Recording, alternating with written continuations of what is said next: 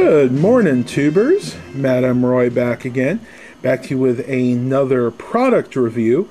This one I'm going to call How Well Does It Work? This is going to be a new segment that I'm going to do on my channel. This is going to showcase some uh, cheap alternatives to the more expensive product. In this case, we are looking at a super bright tactical telescoping flashlight. This is something that I purchased from the local Dollar Tree, my local Dollar Tree, a few days back, and I just really wanted to see how well this works. And I thought, well, you know what? I think my YouTube subscribers would also like to see how well this works. So let's, without further ado, let's look at some first impressions here. Um, once again, they call it the Super Bright Tactical Telescoping Flashlight. Well, we know those are just buzzwords. We'll have to see exactly how good or bad this product really is. Down here it says adjust for a wider or narrower beam of light, which basically means you can twist this right up here. This is basically the lens, and it'll give you a wide beam of light or a narrow beam of light. The narrow beam of light would be nice, say, if you were trying to work on your car in the middle of the night and you need a really intense bright light on a specific area of the engine. That's when you want to use something like that. It does come with a wrist strap, though I doubt that would fit on my wrist. First impressions of the outside, it is definitely very cheaply made. This is all plastic. There is no metal to be had here. If you look in here, you definitely can see a magnified lens of some type.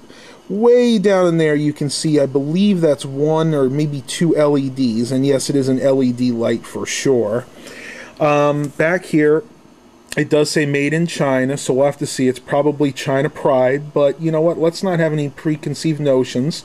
We'll go ahead and give this a try in just a minute. As you can see, it is imported by Greenbrier International, which is the parent company of Dollar Tree Incorporated. So if you look over here, you can see, and it is very, very crudely drawn on.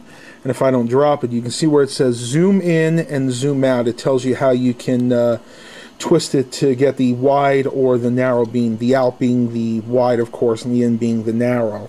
So without further ado, let's go ahead and open this up. I'm going to remove the packaging and we'll see what the uh, battery compartment looks like. Alright, now that I've removed the battery, the uh, cover, and of course the packaging, you can see that um, this is your switch. Very typical for these more modern flashlights.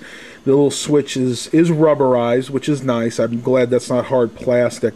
Though if it's a poor quality of rubber, after a few months of use, they do tend to start cracking. But it appears that the switch is fairly solid. There is your lead right there. I believe, let's see if that's negative or positive. I'll go ahead and pull out the uh, little battery ca uh, case here. That is the positive lead. You can see right there discerned by the plus sign. Then, of course, would be the negative. Again, very typical for a modern day flashlight. You have this little um, battery holder that holds three AAA batteries. We can look down there. You can definitely see the um, the negative side of that. I really would have liked to have seen a little bit more metal showing there. Um, it does not appear that there is a good conductor for the um, negative side, but we'll just have to see how that works. A lot of the more um, expensive flashlights will have a lot more metal in use there. So let's go ahead and put in three AAA batteries and we'll see how well this flashlight does work, if it works at all. Just a quick note before I go any further. Make sure when you do this you are inserting the batteries properly. You can always usually tell the spring side is generally where the negative is. Um, there are a few exceptions to that rule, but generally that's the case. In this case, two of the batteries go this way, one goes the opposite way. All right, let's go ahead and put this back in, remembering that the positive is towards the bottom. So go ahead and put that back in.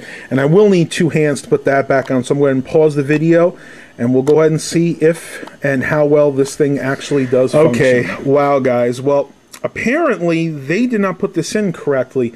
Even though the positive was towards the back of this where the switch is, it actually works the opposite way. The positive needs to be towards the, uh, the terminal needs to be towards the light and the negative towards the switch. So apparently whoever did this did not um, put that in properly. Probably, again, China Pride, somebody that just wasn't paying attention.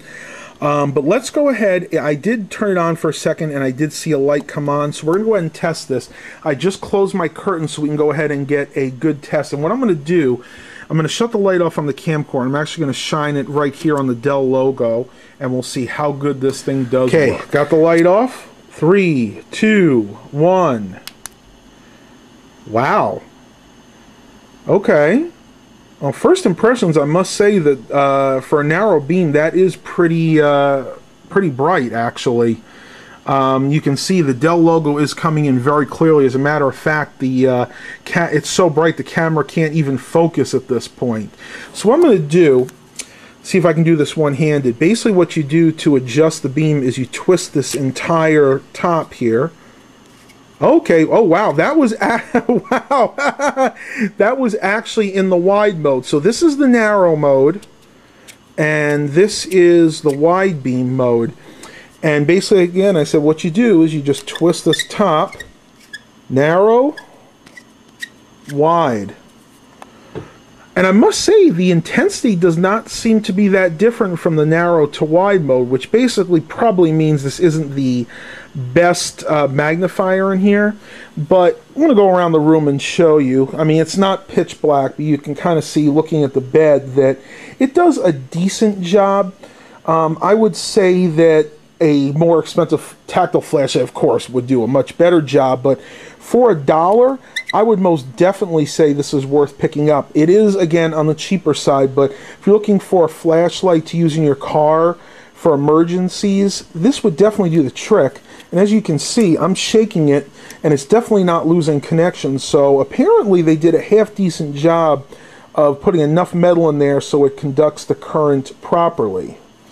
So, Let's go ahead and turn this light back on. How would I actually rate this? Well, if I was to do it on a scale of 1 to 10, I would have to give this about a 6. Build quality would probably be a 3. It, let's face it, it's, it, it's not going to take a lot of abuse. If you were trying to use this on a, on a, on a job somewhere in, in a uh, construction site, this thing would probably be destroyed in a day. But if you just need a good flashlight to get you by in an emergency, I would say this would fit the bill. And for a dollar, definitely cannot go wrong. Hope you guys really enjoyed this video, and yes, I did shoot this with the Sony DCR TRV 260, mainly because I, this has very, very good low light um, response. So, I hope you guys enjoyed it once again. Please continue to remember to like and subscribe. And as always, have a blessed day, everybody.